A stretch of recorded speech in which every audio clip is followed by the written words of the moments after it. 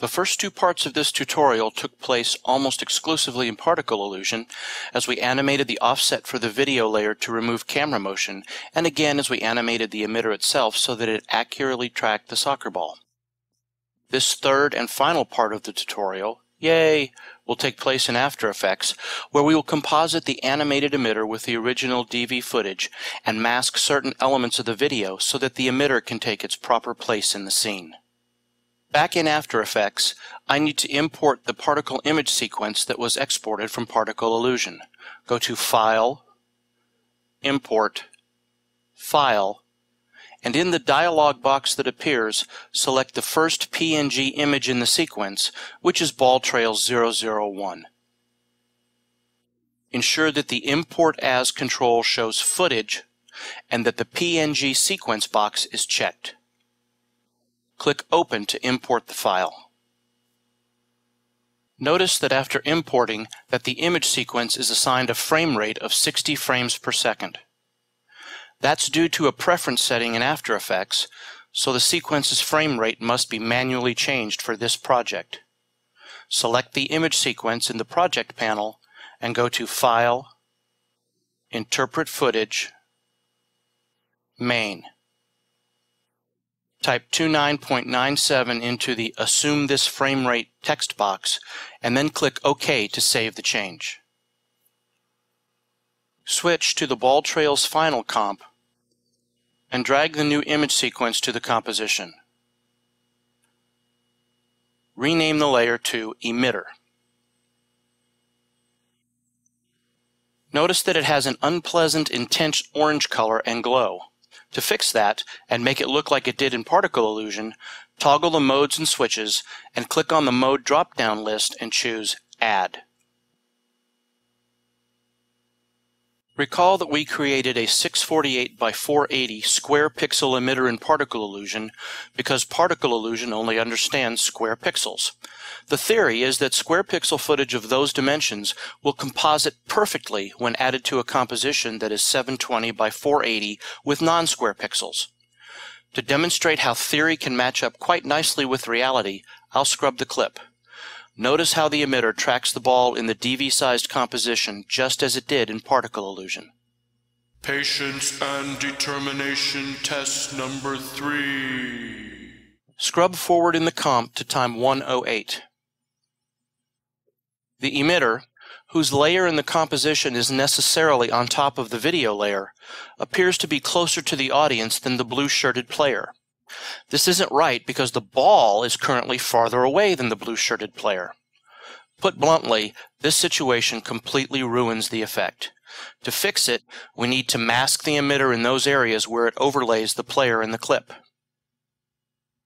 Select the emitter layer. Grab the pen tool and make sure Roto Bezier is checked.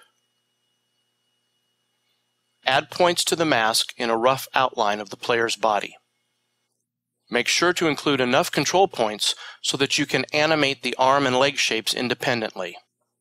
I'll use the head, shoulder, one side of the hand, the other side of the hand, armpit, hip, knee, heel, toe, in between the legs, heel, toe, knee, hip, armpit, one side of the hand, the other side of the hand, shoulder, and then I'll close the mask by clicking on the initial control point over the head.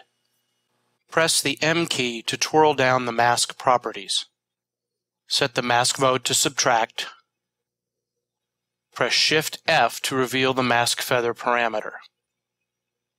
Set the mask feather to 16. Click the stopwatch for mask path to allow animation of the mask. Switch to the selection tool and click on the emitter layer in the timeline. This will allow adjustment of the individual control points and not just the whole mask.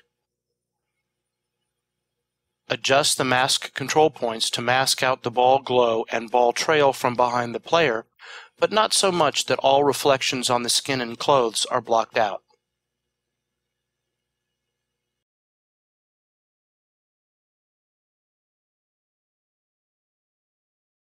Go back one frame.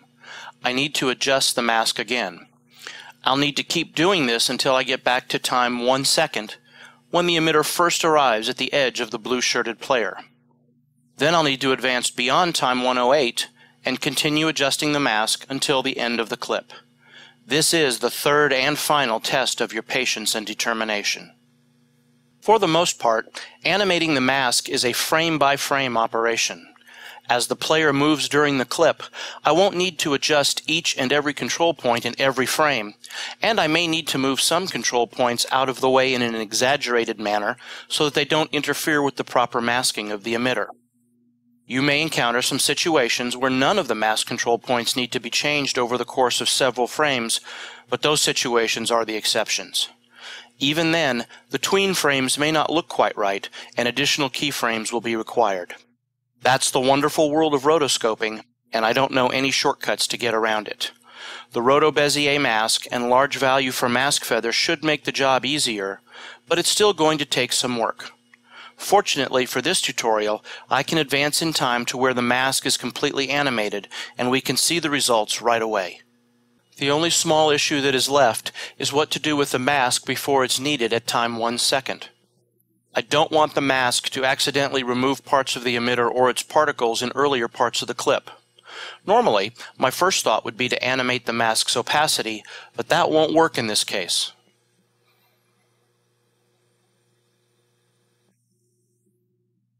What I did to fix it was to animate the mask expansion parameter, starting with a large negative number and a hold keyframe at time 0, then setting a keyframe with a value of 0 at time 1 second.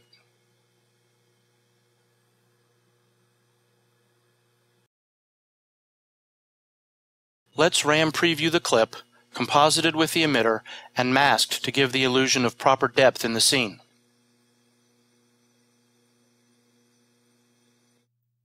Looks pretty good, doesn't it? We're done. Now, if you create this effect in your production, make sure to explain to the audience that the ball wasn't really on fire, otherwise you may get a call from DFACS. This has been Jeff Bellune, guiding you through the long and treacherous path to tracking and rotoscoping excellence using particle illusion and After Effects. So long.